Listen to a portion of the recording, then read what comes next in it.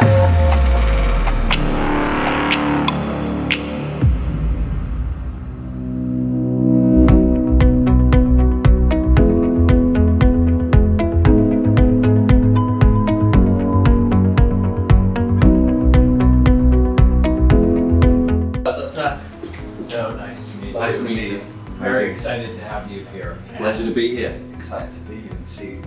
going on, see what's under the hood. Ready to see you, Brian? Yeah. We want to know what you can see that we can't. Yeah. So much. I knew it. I knew it. So much. It's gonna be so interesting. Come on, man. Yeah.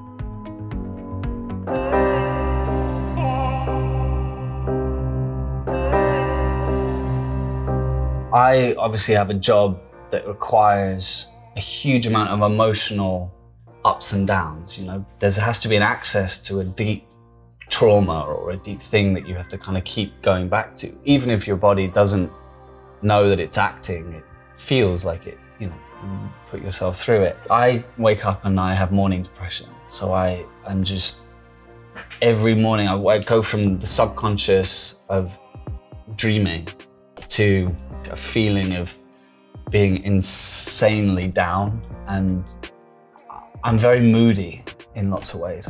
For a long time I tried to like avoid it by having sex or taking drugs or you know doing the things that kind of avoid the feeling and, then, and now I'm like looking at the feelings and once you've acknowledged them and see these are the patterns how do you feel but how do you kind of allow your brain to have some relief from those big mood dips and ups and downs. I think anxiety for me has been a pretty constant thing that I deal with. There's part of that anxiety that I like, you know, there's there's information in it for me, but I would like to understand it more. I would like to understand what anxiety is and why why it's happening. And when did it start? Uh, it was very unconscious for me as as a kid, and and as a and as an adolescent, um, and I jumped into uh, drugs and alcohol very early, Like how early? fifteen. You know, stimulants as well. I didn't really like pop. I was into like amphetamine, cocaine, that kind of stuff. And it made me feel at peak more calm. Actually, Interesting. yeah, Because your brain's actually a bit of the opposite of that. right. Your brain, as we'll see in a little bit, is Okay. really busy. Busy, yeah, yeah. That doesn't surprise me that you told me that. I think we just leave it there, to be honest.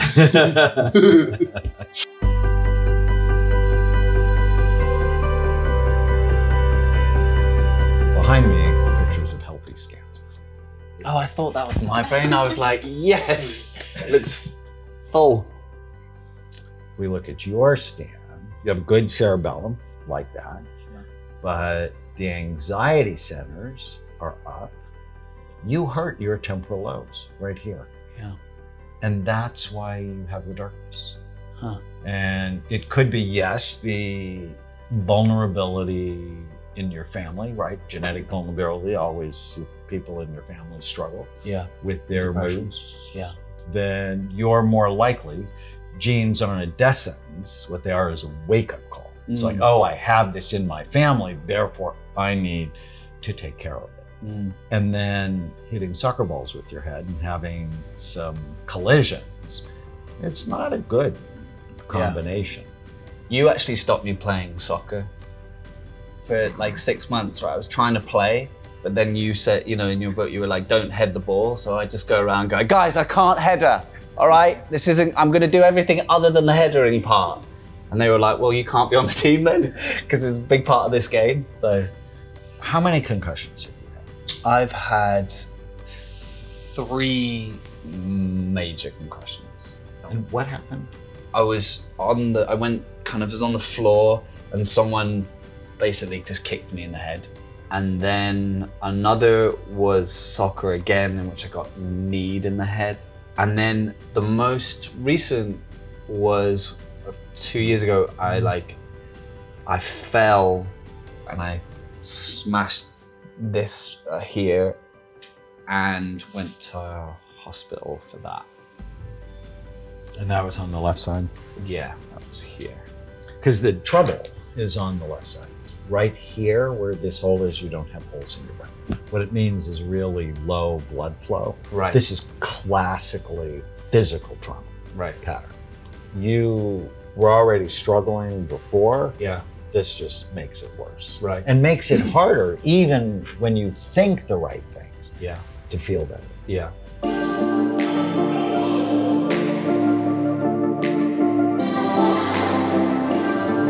You see the bumpiness? Okay. That's what I see in people who've had a substance Really? Now, if I got you when you were actively using, Yeah. it would have been much worse. Because you've been drug free for like 11 years, right? alcohol free for tw- 12 years almost and s- somewhat drug free for about six because I do the somewhat. psychedelics were you know that was part of my has been part of my own development of into the into this uh, subconscious And you have found psychedelics helpful. I have, yeah.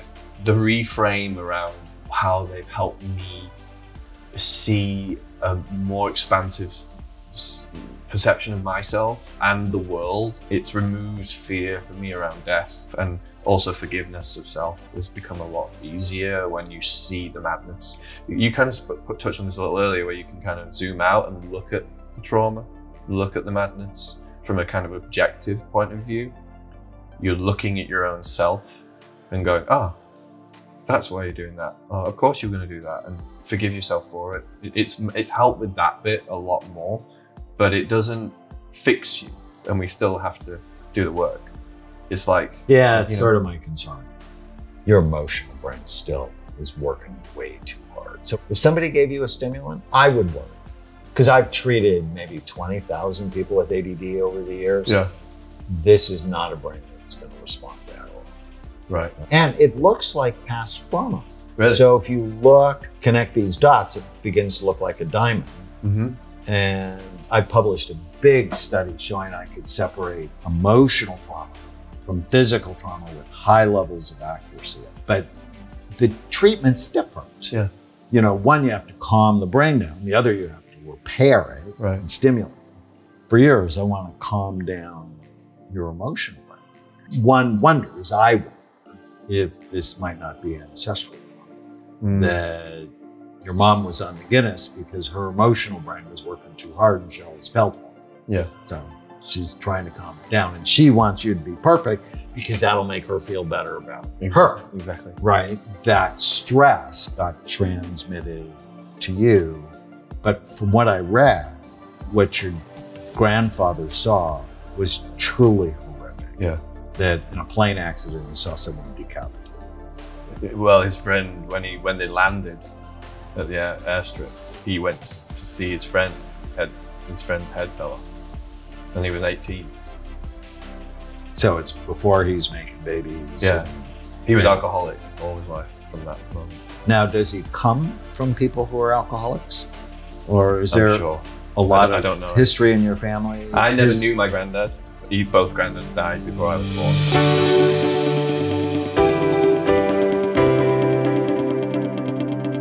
Is there anything that, if you're a young man, this, look at this, do this, or you know, is there something that you like prioritize? So I've thought about this a lot.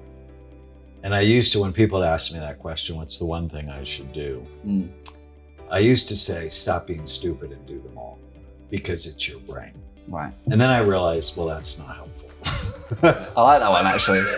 We use that in the men's team. Stop Yeah. being stupid. That is helpful. And then I thought, well, what is the one thing? And I was blessed to be able to work with BJ Fogg, who is a professor at Stanford on how people change. And he said, you have to help them create tiny habits. So, what's the smallest thing you can do today that will make the biggest difference? And we worked for six months and we came up with 50 tiny habits for the brain. But there's a mother habit. And the mother habit is as you go through your day, just ask yourself, is this good for my brain or bad for it? And if you can answer that question with information and love, love of yourself, love of your family, love of your mission, you'll start making the right decision. And nobody cares about their brain. Hmm. Why? You can't see it. You can see the wrinkles in your skin or the fat around your belly, and you can do something when you're unhappy with that. But what we did today is you got to see your brains, and I'm hoping you develop an emotional attachment to it, and you're like, I want this better. Do you see a difference between the female brain and the, and the male brain? Is there is there a bit? massive Really? difference. Okay. I published a study on 46,000 scans looking at male brains versus female brains, and it's like we're not even the same species. Really? It's their brains are so much busier than male brains, and generally they're healthier because they have more estrogen and they don't do quite the toxic things that male brains do. Is that because they can develop a consequence, things like that? They, they understand consequence more than male brain. You know, the development of that thing is all part of it. Is So that the prefrontal cortex, right? their prefrontal cortex was way more active. Right. Which actually why females make good leaders. Their executive brain, their frontal lobes, Mm. Much more active than male brains. So they're often better at forethought, decision making, and collaboration Mm. and empathy. And guys struggle with that. And then if you hit a lot of soccer balls with your head, you really struggle Right. with it. Not consciously. So we're kind of almost like fighting different battles as men and women in the world. You know, we've, we've got a different set of cards that we're starting from. And is that an evolutionary developed thing? Well, it's either God's cruel Yeah. trick or Right, right. it was Yeah, evolution. You know, Yeah. why is the female brain, their limbic brain is bigger than the male brain? Because they're primary caretakers for children. Mm.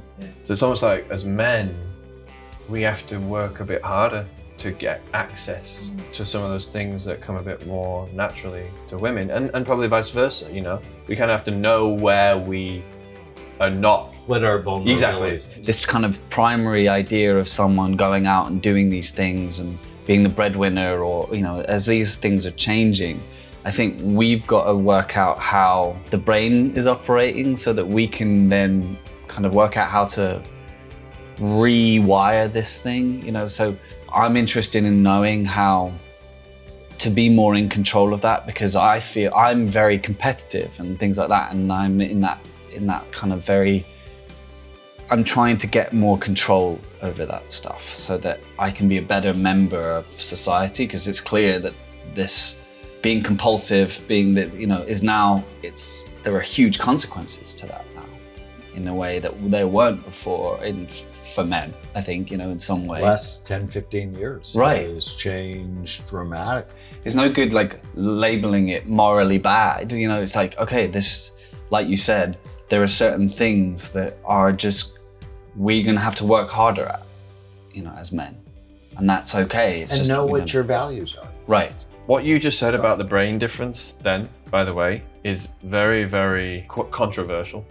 You saying that, and so, but we we believe that too, and we're we're we, we that's what I think you're saying there as an ally because it's not about good bad. It's Right. about let's look at the reality of something and then we deal from there rather than say no no no, it's all the same. So it, it's really So actually. just all- try not to pay attention. I know, but that's listen. That, I get it, but like But it's- we're in an industry. We're that is- both- You can't yeah. do that.